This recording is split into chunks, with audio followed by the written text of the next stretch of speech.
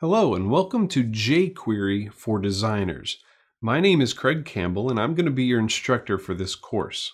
In this course, we're going to discover just how easy it is to create some really nice animated effects using jQuery even if we have no experience as developers or programmers.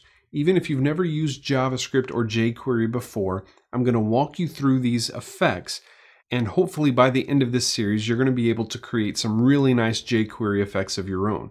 So we're going to take a look at how to create a simple animated drop-down menu using just a few lines of jQuery code. We're going to talk about this hover effect where we can hover over these image thumbnails to make them expand and contract. We're going to create this nice blurred image effect where we can hover over these images to get rid of the blur.